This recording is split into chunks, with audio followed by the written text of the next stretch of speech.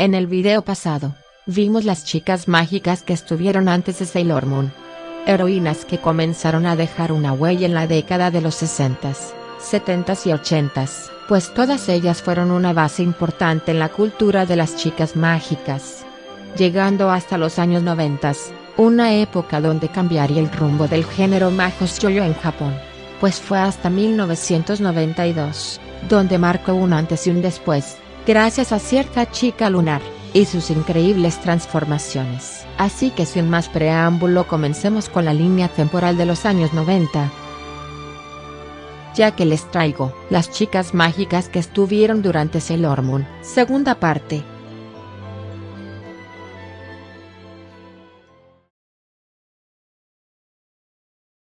Mikami Gokuraku Daisakusen, 1993 conocido en Latinoamérica como Mikami la Casa Fantasma, es un anime basado en un manga escrito e ilustrada por Takashi Shina, y fue publicada por la revista semanal Sukansion en Sunday, de 1991 a 1999. Para 1993 ganó el premio Shogakukan a Mejor Manga Shonen. En ese mismo año comenzó a emitirse la serie animada por Toei Animation, teniendo una duración de poco más de un año, cubriendo un total de 39 volúmenes. Para 1994 realizaron una película basada en la serie. En México fue estrenada en 1999 a través de Televisa en el Canal 5, sin embargo, salió de la televisión un año después de su estreno y nunca se volvió a retransmitir. El desarrollo de la historia está ambientada en las posesiones demoníacas, exorcismos y fantasmas ya que la sobrepoblación de Japón forzó a los espíritus a abandonar los lugares donde penaban, lo que provocó que estos se enojaran y hicieran notar su descontento asustando a las personas. De esta manera se crea una nueva profesión, los cazafantasmas, los cuales son exorcistas profesionales que trabajan por contrato, generando millones de yenes para deshacerse de los espíritus malignos. Pero entre todos estos cazafantasmas, se encuentra la mejor, se trata de Mikami, una chica que es capaz de eliminar cualquier espíritu para ganar mucho dinero, pues es lo único que le importa. Ella cuenta con un equipo que la ayuda en sus misiones, compuestos por Tadano Yokoshima, un chico que estudia la preparatoria, y Okinu, el fantasma de una chica adolescente que murió hace 300 años en una montaña y hasta el momento no ha podido descansar en paz. Los tres combaten los fantasmas con todo tipo de hechizos y talismanes de hecho hay momentos en la serie que tiene humor, ya que muestran la relación de los personajes siendo que Tadano siempre desea estar con Mikami, pero ella lo rechaza, ya que tiene su lado pervertido. La historia entrelaza la cultura clásica japonesa y su realidad moderna, con referencias ocasionales a influencias occidentales. En medio de estos argumentos algunos arcos de historia son más largos, donde son presentados nuevos personajes y los existentes son desarrollados. Así que, si quieres pasarte una tarde viendo algo divertido y retro, entonces te recomiendo este anime, incluso su película de una hora y 60 minutos también es muy recomendable de ver, en ella, un exorcista muerto se aliará con la bella Mikami para intentar vencer al malvado Nosferatu, un malvado vampiro que por medio de su ejército de zombies quiere apoderarse de todo Japón. Sin embargo, a diferencia de la serie, esta película no tuvo doblaje, pero la serie animada sí contó con doblaje latino, teniendo a grandes actores muy reconocidos como Irma Carmona, Connie Madera, e incluso Mariana Ortiz, hija de la actriz Araceli León. Mikami la Casa Fantasma, cuenta con 45 episodios. Aunque, se rumora que iba a tener una segunda temporada el cual nunca se realizó, ya que el cambio en los personajes y el guion para que sea aceptable en un público más amplio, provocó el descontento por parte de los fans del manga, los cuales dejaron de sintonizar la serie. El bajo rating que tenía cada semana hizo que en marzo de 1994 fuera cancelada. Unos cinco meses después sacaron la película ya mencionada, dando a entender que habría una posible continuación, pero nunca se realizó teniendo como teoría que la baja audiencia que tuvo la primera temporada fue el detonante de que el proyecto ya no siguiera en pie. Mikami se le considera una chica mágica, por sus habilidades mágicas, ya que usaba artefactos como talismanes, aretes mágicos y su vara divina, con los cuales podía hacer exorcismos de forma efectiva, y aunque no cuenta con transformaciones ni mascotas que la acompañen, su poder mágico es más que suficiente para que muchas personas la metan en esta categoría. Akazuki Chacha 1994 Llegamos al año de 1994, justamente el año en el que se estrenaba la temporada Super de Sailor Moon. Pero a la vez TV Tokyo estaba estrenando la serie Akazuki Chacha. Literalmente Caperucita Roja Chacha, siendo una adaptación del manga ilustrada por Minayara, el cual fue serializado de forma mensual basándose en el cuento de hadas de Caperucita Roja, solo que en esta versión la chica de la capa roja con capucha, es un estudiante de hechicería que es algo torpe en lanzar su magia, confundiendo constantemente los homónimos, pues llega a convocar arañas en vez de nubes. Sin embargo cuando se trata de hacer contrahechizos para salvar a sus amigos, su magia funciona bastante bien.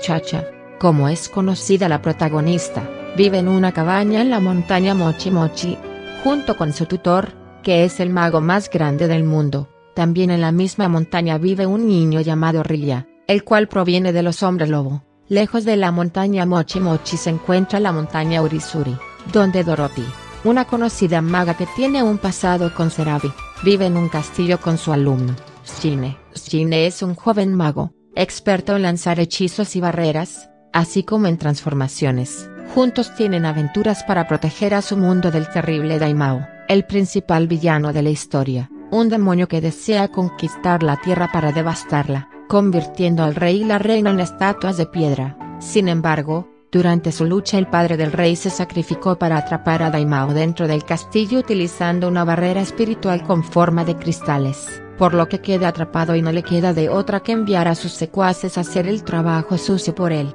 Aunque en el manga es completamente diferente. Las historias del manga y la adaptación al anime son marcadamente diferentes. Mientras que el anime usa la mayoría de los mismos personajes, la historia de las dos primeras temporadas fue inventada para el programa de televisión. La mayoría de las historias de la tercera temporada están basadas en el manga. Chacha está a punto de comenzar la escuela. Serabi le da un colgante llamado Princess Medallón, y una pulsera y un anillo mágicos para Ria y Shine respectivamente. El medallón de la princesa le permite a Chacha transformarse en una princesa mágica, que puede derrotar a los secuaces de Daimao. Cuando ella grita el amor, el coraje y la esperanza. Los artilugios se activan y aparece la santa princesa mágica aunque la transformación solo funciona si las tres joyas se juntan. Sin embargo así el final de la serie estos elementos son sacrificados para salvar el planeta ya que por accidente Chacha rompe el sello que libera a Daimao, trayendo consigo la devastación a su mundo. Por ese motivo Chacha ya no puede transformarse, pero su familia le da tres objetos mágicos más, un broche mágico, un compacto y una pulsera crecenta aurora que puede usar para invocar un boomerang que a su vez le trae elementos que pueden resolver sus problemas. El resto de la serie se basa en los primeros cinco volúmenes del manga. Al final de la serie, será Vicenta Cabeza, comprometido para casarse con su ex compañera de clase, Dorothy. La serie contó con, con 74 episodios producidos por Nazi Televisión Tokio y animado por el estudio Gallop. Duró del 7 de enero de 1994 hasta el 30 de junio de 1995.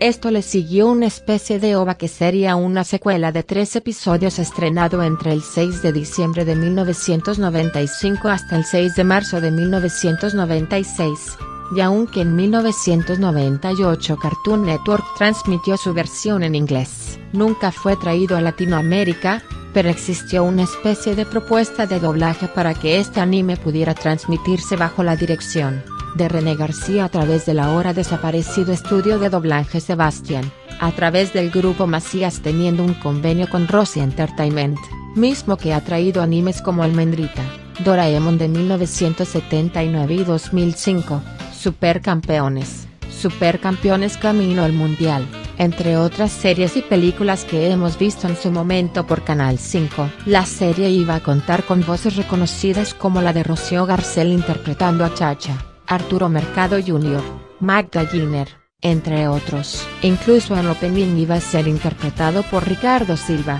sin embargo, el proyecto nunca se concretó por razones desconocidas, debido a la popularidad de Sailor Moon en ese momento, que popularizó el concepto de heroínas transformadoras que luchan en el anime de chicas mágicas. Las dos primeras temporadas de Akazuki Chacha presentaron una trama original que utilizaba un concepto similar para poder competir. Sin embargo, nunca pudo alcanzar el alto rating que tenía Sailor Moon, convirtiéndose en una serie poco popular en Japón. Don debut en 1994.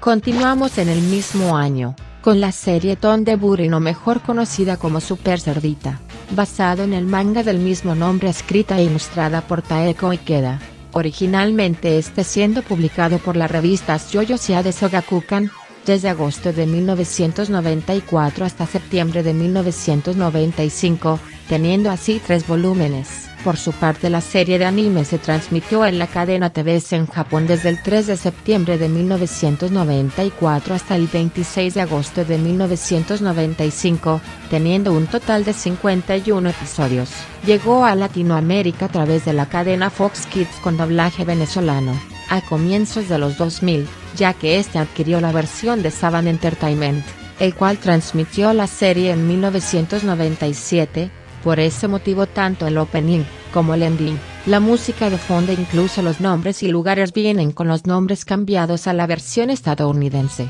La historia se centra en Karin Kokubu, conocida también con el nombre de Cassie Carlen, una jovencita de 13 años que va en primero de secundaria, la cual llega tarde a la escuela cuando se encuentra con un cerdito de un color tanto peculiar que aparentemente está herido, aunque en realidad no lo estaba, solo tenía hambre así que le da una manzana, pero cuando la chica llega a la escuela se da cuenta que el cerdito estaba escondido en su mochila, lo que le ocasiona problemas en la escuela. Más tarde se reencuentra con él y descubre que puede hablar y volar, el cerdito se presenta como Tonrariano III, príncipe de un planeta llamado Gauringo, hijo de Tontatiano II, vino a la Tierra para convertirse en rey, ya que debe convertir a una chica en super cerdita para que haga buenas acciones y por cada una se le dará una perla. Al recolectar 108 se le concederá un deseo, así que Tonrariano le obsequia una polvera en agradecimiento por la buena obra de Karin al darle la manzana, para que cuando ella la abra, un hocico de cerdo pueda pegarse a su nariz y así transformarse en la cerda del amor y el coraje. Así ella va salvando a personas que necesiten de su ayuda a pesar de que a Karin no le gusta su apariencia, ya que preferiría verse como su ídolo Kuten Chao, una posible referencia a Cutie Honey. Sin embargo, a pesar de que sus misiones logra hacerlas con éxito, debe tener mucho cuidado de mantener su identidad en secreto ya que el mayor inconveniente que tiene la polvera y sus poderes, es que si alguien descubre la identidad secreta de Super Cerdita, la chica que posea el artilugio quedará con la apariencia de la cerdita por el resto de su vida. Por ese motivo Karin le preocupa que su padre, hermano pequeño e incluso que su compañero nerd de la escuela logre descubrirla, pues tal parece que está investigando la aparición de Super Cerdita lo que pone muy nerviosa a Karin. Al principio nuestra protagonista anhelaba convertirse en una super bella heroína, pero con el pasar de sus aventuras, descubre que prefiere ser ella misma. La serie fue transmitida en México primero por el canal de cable Fox Kids, entre el año 2000 y 2002, después pasó al canal de televisión abierta Azteca 7 en julio de 2002, emitiéndolo una sola vez sin tener retransmisión, por lo que su doblaje en español latino quedó perdido, pero el opening de Fox Kids y un pequeño fragmento de la serie, nos muestra que este anime sí fue transmitido de este lado del mundo.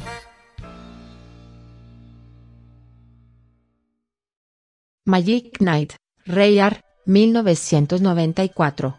Continuamos hasta julio de 1994, donde uno de los mangas más populares del grupo Clamp, estaba siendo adaptado al anime por el estudio Tokyo Movies Shinsa, ahora conocido como TMS Entertainment, emitiéndolo a través de la cadena televisiva Yomiuri TV, teniendo un total de 49 episodios divididos en dos temporadas y tres ovas que muestran una historia alternativa, con mismos nombres pero diferente relación entre ellas. pues tanto su manga como el anime al menos en el primer arco argumental es un claro homenaje a los videojuegos RPG, de los cuales el grupo de Clamp son bastante fanáticas.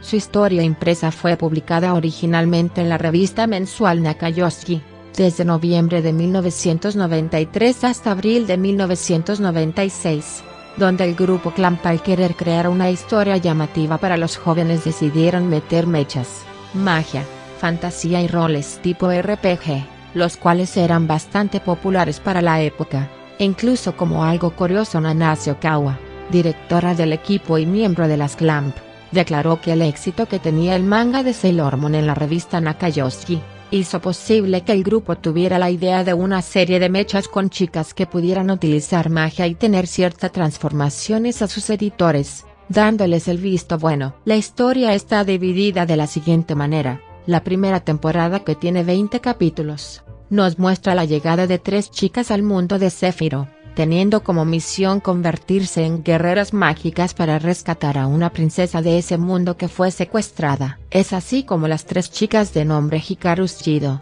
Umi Ryusaki, y Fuoji, conocidas en Latinoamérica como Lucy, Marina y Anais, inician su aventura para conseguir sus armas mágicas desarrollar más sus poderes y despertar a los genios para ayudarlas con su misión para que puedan regresar a su mundo. Después de ser guiadas por una criatura mágica de nombre Mokona, o Nikona en el doblaje latino.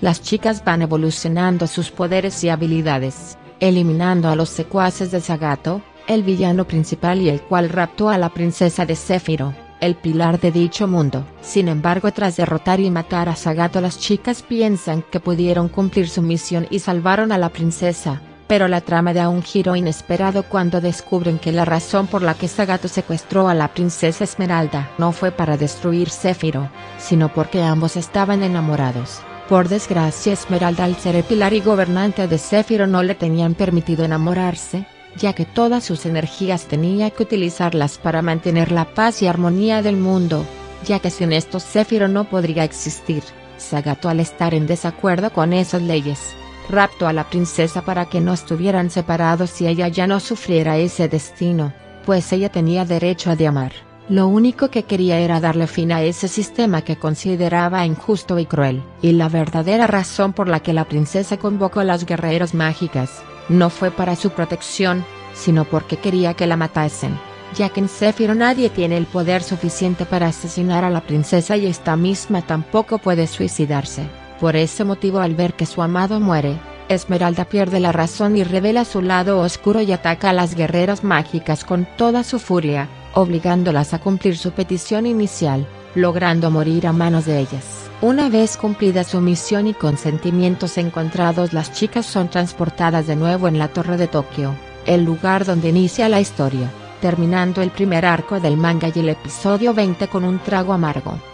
La segunda temporada contiene 29 episodios, e inicia en el capítulo 21. Este se emitió después de la primera el cual nos muestra que las guerreras mágicas retornan a Zephyro una vez más para encontrar el nuevo pilar del mundo mientras defienden el país de enemigos invasores. Quizás esta última parte es la que hizo un cambio bastante grande con su contraparte impresa, ya que el anime incluyó nuevos antagonistas y curso de la historia más elaborado, alejándose del manga. Así el final, se dieron cuenta que no hacía falta otro pilar y ya no tenían que tener ese mismo sistema con el que acabó con la vida de Sagato y Esmeralda. Así al final Lucy y sus amigas están nuevamente en la Torre de Tokio. Después de un año desean regresar a Zephyro sin un nuevo pilar y más próspero que antes, pues gracias a ellas, se logró abolir definitivamente un sistema de gobierno injusto para su gobernante y para el mundo entero. La serie tras su emisión fue licenciada en otros países siendo doblada al inglés, español, francés, italiano, portugués, entre otros. Llegando a Latinoamérica bajo el nombre de Guerreras Mágicas, fue transmitida en Perú en 1996, seguido de Brasil unos meses después llegando a México en agosto de ese mismo año a través del Canal 7 y posteriormente al 13 de TV Azteca. Para julio de 2020 la serie volvió a retransmitirse por el canal BIMI con la versión remasterizada hecha en Chile por Area Studio para ser distribuida por TMS entre el año 2013 y 2020, contando así con detalles que no tenían la versión de los 90, como openings y endings que no fueron transmitidos en esta parte del mundo, el doblaje al español latino, quedó a cargo de la empresa Hal Post, de la ciudad de Los Ángeles, California, en Estados Unidos teniendo una calidad media con algunos errores en nombres de personajes y con cambios arbitrarios, ya que el opening de la serie se desechó la canción original,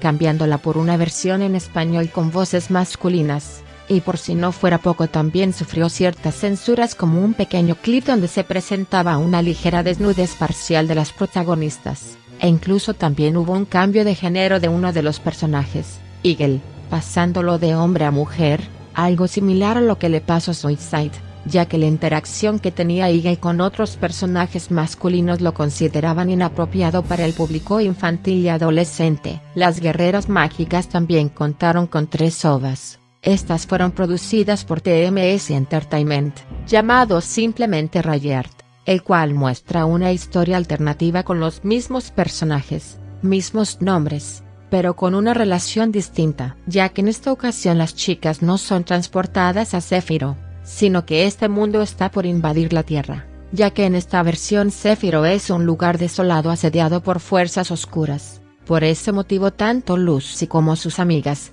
deben enfrentar todo tipo de desafíos mágicos, en la búsqueda de los genios dormidos para transformarse en las legendarias guerreras mágicas para defender su hogar, con el destino del mundo en peligro. Las tres chicas deben volver a unir fuerzas, descubrir sus poderes y enfrentar a una gran amenaza.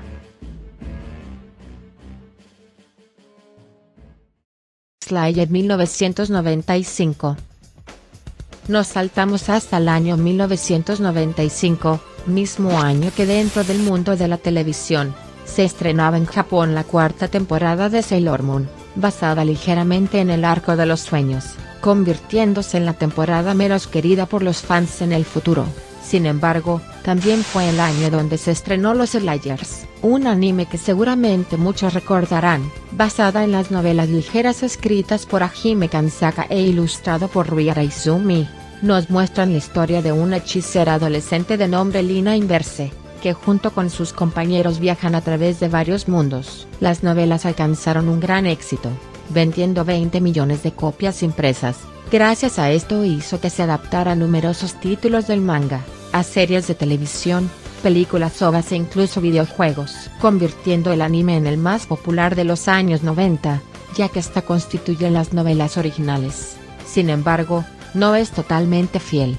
sino que es una adaptación que cuenta los hechos de diferente manera, teniendo así un total de 26 episodios. Fue producido por el estudio JC Staff, y emitido por la cadena televisiva ITV Tokio. El 7 de abril de 1995, en España fue transmitido bajo el nombre de Rena y Gaudi, posteriormente fue lanzado en formato DVD y Blu-ray como Slayers mientras que en Latinoamérica fue conocido como Los Justicieros. Actualmente existen cinco temporadas de este anime conformando 104 capítulos en total. La primera simplemente lleva el nombre de Slayers, y está basado en los primeros arcos de la novela ligera. Los acontecimientos giran en torno a los personajes principales, donde Lina la protagonista se le une un espadachín de nombre Gourri,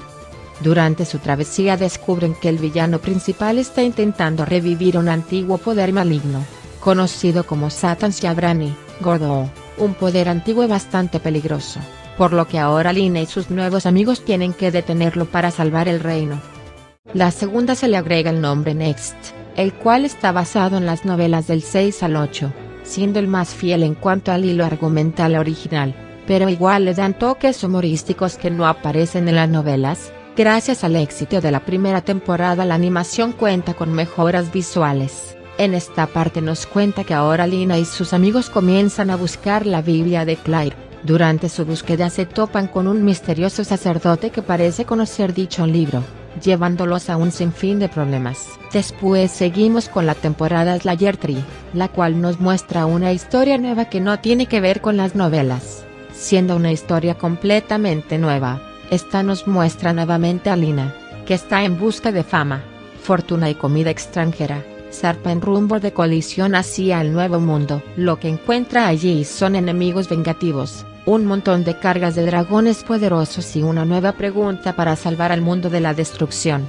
Seguimos con Slayer Revolution, la cual vendría siendo la cuarta temporada y está basada en la quinta novela, mezclada con una historia original, y a diferencia de las temporadas pasadas, esta cuenta únicamente con 13 capítulos donde Lina y Gogurri buscan un arma de reemplazo debido a que perdieron la espada de la luz en la anterior batalla, reuniéndose con viejos amigos en el camino, pero también con nuevos personajes como Pokota, el cual les dará muchos problemas y el inspector de la unidad de investigación especial Lubinagar, llamado Wiser, el cual está detrás de Lina para encerrarla para siempre por los crímenes que ha cometido como el robo. La quinta temporada que tiene por título Slayer Evolution R, fue una temporada lanzada en el año 2009 y es una continuación directa del acontecimiento de Slayer Revolution, adaptando la sexta novela. Aquí nuevamente Lina y sus amigos intentan buscar el jarrón que contiene el alma de Rezo, para poder despertar de su letargo artificial a los habitantes de Taforasia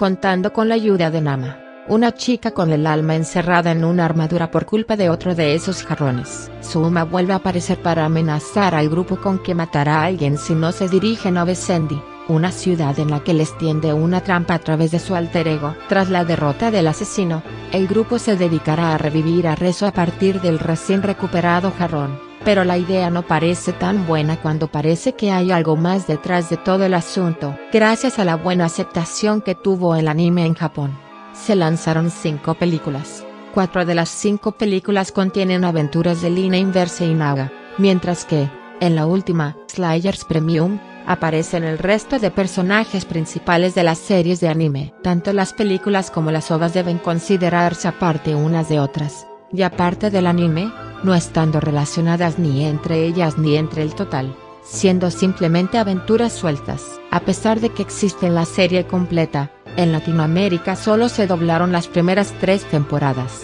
debido a que al momento de que se realizó el doblaje no existían las dos últimas temporadas ya que éstas se estrenaron 10 años más tarde, por lo que las últimas temporadas las encontrará subtituladas. Como algo curioso el personaje de Gogurri usaba muchos modismos en el doblaje, dando homenaje a algunas frases de series muy conocidas en Latinoamérica como El Chavo del Ocho de Chespirito, ya que Juan Carlos Vázquez el actor que le dio su voz, quiso probar de una manera más personal interpretar el personaje, con el fin de hacerlo realmente gracioso para la audiencia de habla hispana. Incluso algunos diálogos se adaptaron más para un público más infantil, descartando comentarios o burlas subidos de tono por parte de Gogurri hacia Lina.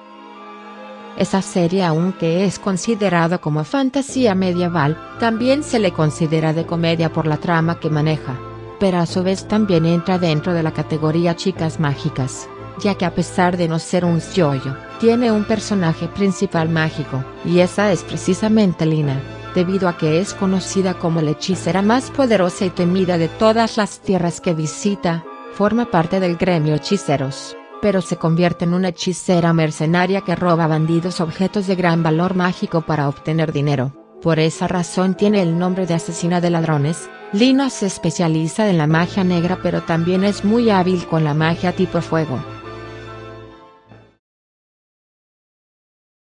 Wedding Picture 1995.